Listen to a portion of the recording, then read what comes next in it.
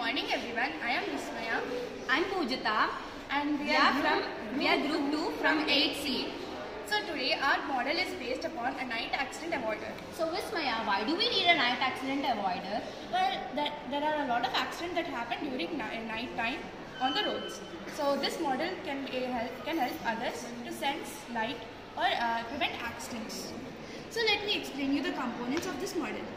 This is an APDS sensor which senses light, color, objects, etc. But in this slide, in this project, we have made it, we have programmed it so that it can sense light.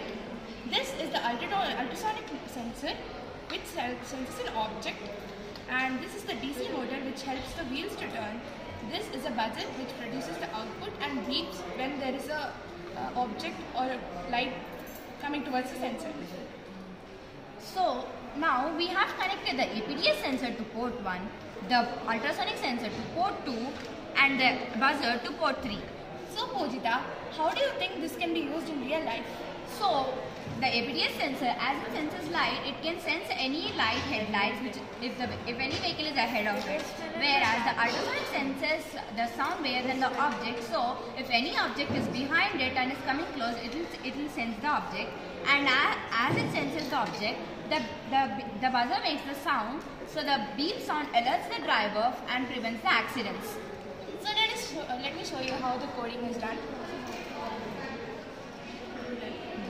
So the input process and output of the project is the input is the APDS sensor and the ultrasonic sensor. The process is the motherboard and the output is the buzzer and the DC motors. So now let us show let me and my friends show the coding of this project.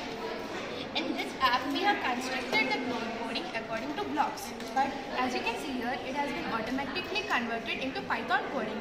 From here, we can copy and paste it into the Thonny app, from which we can plug this file so that the motherboard can get all the programming.